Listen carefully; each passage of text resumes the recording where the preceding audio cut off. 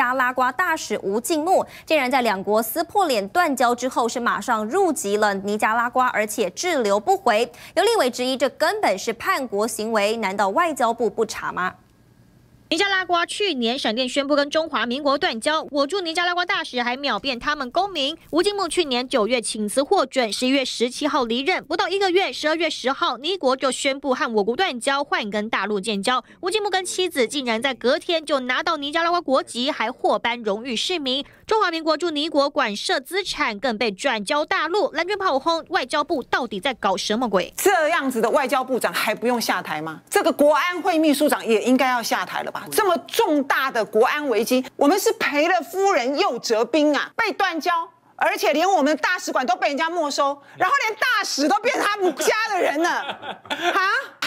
还有脸去外交部上班呐？吴金木分别在二零零七和二零一七年两度担任尼国大使，但这回断交交代不清。离谱的是，连吴金木要当尼加拉瓜人，外交部也搞不清。所以外交部我们事前不知道这件事情。他有在拼外交吗？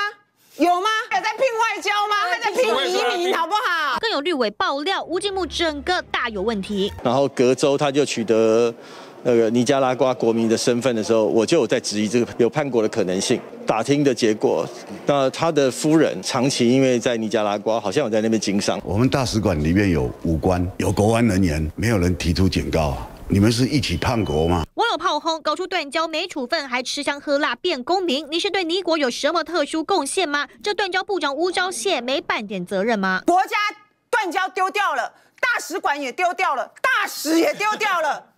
啊，你这个外交部长还干得下去？啊，你总统还无所谓吗？中华民国被尼加拉瓜分手说拜拜，但我们的大使还入人家国籍滞留不返。看到这款外交部，恐怕不难理解为何我们的邦交国一直断。记者张正敏、李选 A C G 小组台北报道。